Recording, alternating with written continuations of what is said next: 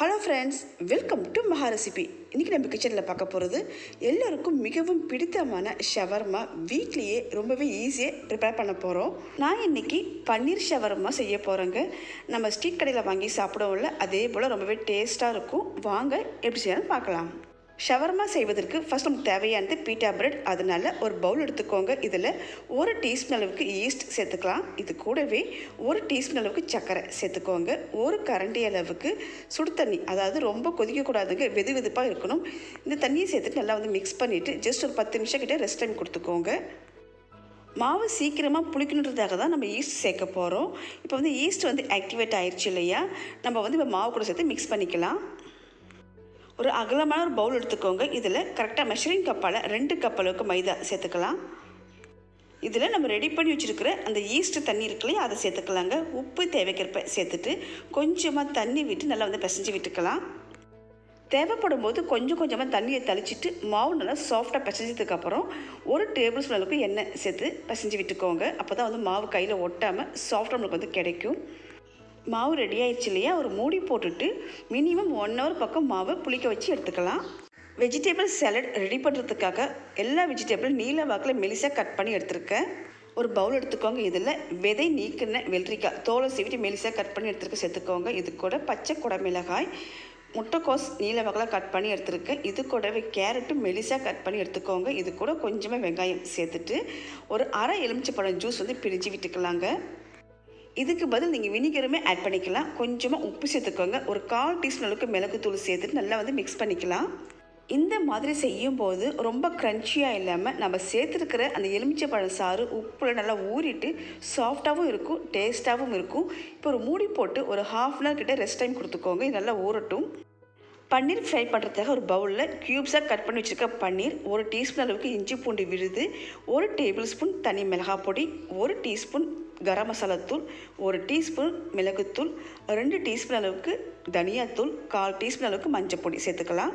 கூடவே அரை எலுமிச்சப்பழம் சாறு பிழிஞ்சு விட்டுக்கோங்க. ஒரு டேபிள் ஸ்பூன் அளவுக்கு தயிர் சேர்த்துக்கலாங்க. உப்பு தேவைக்கிறப்ப சேர்த்து நல்லா வந்து குலுக்கி விட்டுக்கலாங்க. இந்த மசாலா எல்லா பன்னீர்லையும் கோட்டார அளவுக்கு நல்லா வந்து மிக்ஸ் பண்ணி விட்டுக்கலாங்க. பன்னீர் வந்து உடையாமல் மிக்ஸ் பண்ணிக்கோங்க. இப்போ பன்னீர் ஃப்ரை பண்ணுறதுக்காக ஒரு கடையில் கொஞ்சமாக எண்ணெய் சேர்த்துக்கலாம். இது கூட நம்ம மசாலாவில் பெரட்டி வச்சிருக்க பன்னீரை சேர்த்து நல்லா வந்து ஃப்ரை பண்ணி எடுத்துக்கலாம். அப்பப்போ திருப்பி போட்டுக்கோங்க. மிதமான ஹீட்லேயும் ஃப்ரை பண்ணி எடுத்துக்கோங்க. இப்போ நல்லா ஃப்ரை ஆனதுக்கப்புறம் நம்ம எடுத்துடலாம். பன்னீரில் காரம் உப்பு புளிப்பில் இறங்கிட்டு நல்லா கிறிஸ்பியாகவும் இருக்கும். சாப்பிடும்போது ரொம்பவே டேஸ்ட் நல்லாயிருக்கும் நம்ம வெறுமனையாகவும் சாப்பிட்லாம். பீட்டா பிரெட்டுக்கு தேவையான மாவு நல்லா புளிக்க வச்சு எடுத்தாச்சு. மாவு நல்லா சாஃப்டாகவும் இருக்குது நல்லா இலக்கமாகவும் இருக்குது இதில் கொஞ்சமாக வெள்ளை மாவை சேர்த்து நல்லா வந்து மிக்ஸ் பண்ணிவிட்டு பிசைஞ்சு விட்டுக்கலாங்க. திரட்டும் போது கையில் ஒட்டாமல் அப்போ தான் வந்து ஈஸியாக இருக்கும். மாவு நல்லா சாஃப்டாக பிசைஞ்சு விட்டதுக்கப்புறம் சின்ன சின்ன உருண்டைகளை வந்து உருட்டி எடுத்துக்கலாம். நம்ம ரெண்டு கப் அளவுக்கு மைதா மாவு எடுத்தோம் இல்லையா? கரெக்டாக ஆறு பீட்டா பிரெட் செய்யலாம்.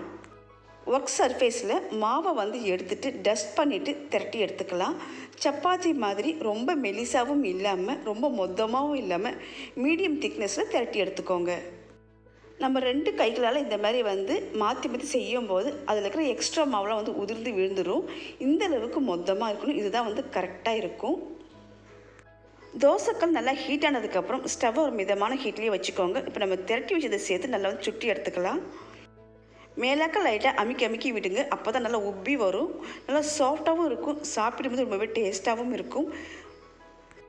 ரெண்டு பக்கமும் திருப்பி திருப்பி போட்டு வேக வச்சு எடுத்துக்கலாம். ஷவர்மா செய்வதற்கு தேவையான பீட்டா டேப்லெட் ரொம்பவே சிம்பிளாகவே செஞ்சிட்டோம். இதே மாதிரி எல்லாமே ரெடி பண்ணியாச்சு. வெஜிடேபிள்ஸும் ஜூஸியாக ஊறி வந்திருக்கு. இது கூடவே விதைகள் நீக்கின தக்காளி பழம் நீல கட் பண்ணி சேர்த்துக்கலாம். ஸ்டஃப் பண்ணுறதுக்கு தேவையான பன்னீர் ஃப்ரை. ஒரு பிளேட்டுக்கு மேலே பட்டர் பேப்பர் வச்சுக்கோங்க. இதில் நம்ம ரெடி பண்ண பீட்டா பிரெட் அதில் கொஞ்சமாக டொமேட்டோ சஸ் போட்டு நல்லா வந்து ஸ்ப்ரெட் பண்ணி விட்டுக்கலாம். அதுக்கு மேலே ஒரு டேபிள் ஸ்பூனுக்கு மயோனைஸ் சேர்த்து நல்லா வந்து ஸ்ப்ரெட் பண்ணி விட்டுக்கோங்க. நான் எடுத்திருக்க மயோனைஸ் பார்த்தீங்கன்னா கார்லிக் ஃப்ளேவரோட ரொம்பவே டேஸ்ட் நல்லாயிருக்கும். இதுக்கு மேலே நம்ம ரெடி பண்ண சேலடை மேலே லைட்டாக தூவி விட்டுக்கோங்க. இதுக்கு மேலே நம்ம ஃப்ரை பண்ண பன்னீர் நம்ம அப்படியே சேர்த்துக்கலாங்க. அல்லது நீங்கள் சின்ன சின்னதாக கட் பண்ணி சேர்த்துக்கலாம். இது வந்து உங்களுடைய விருப்பம். தான் கொஞ்சமாக மைனஸ் சேர்த்துட்டு இதை அப்படியே வந்து ரோல் பண்ணிக்கலாம். நம்ம ரோல் பண்ணும்போது அந்த ஸ்டஃபிங் வந்து கீழே விழாமல் இருப்பதற்காக தான் நம்ம இந்தமாதிரி பட்டர் பேப்பர் வச்சு ரோல் பண்ணிக்க போகிறோம் அப்போ தான் வந்து கரெக்டாக இருக்கும். எல்லோருடைய ஃபேவரட்டான பன்னீர் ஷவர்மா நம்ம வீட்லேயே சிம்பிளாகவே செஞ்சிட்டோம். குறிப்பாக கிட்ஸுக்கு ரொம்பவே பிடிக்கும். மிஸ் பண்ணாமல் ட்ரை பண்ணி பாருங்கள் உங்கள் எல்லாருக்குமே இந்த வீடியோ பிடிச்சிருந்தா லைக் பண்ணுங்கள் ஷேர் பண்ணுங்கள் சப்ஸ்கிரைப் பண்ணுங்கள் பக்கத்தில் இருக்கிற பெல் சிம்பிளை கிளிக் பண்ணிங்கன்னா ஃபர்தராக நான் போகிற வீடியோஸ் நோட்டிஃபிகேஷனில் கிடைக்கும். தேங்க்யூ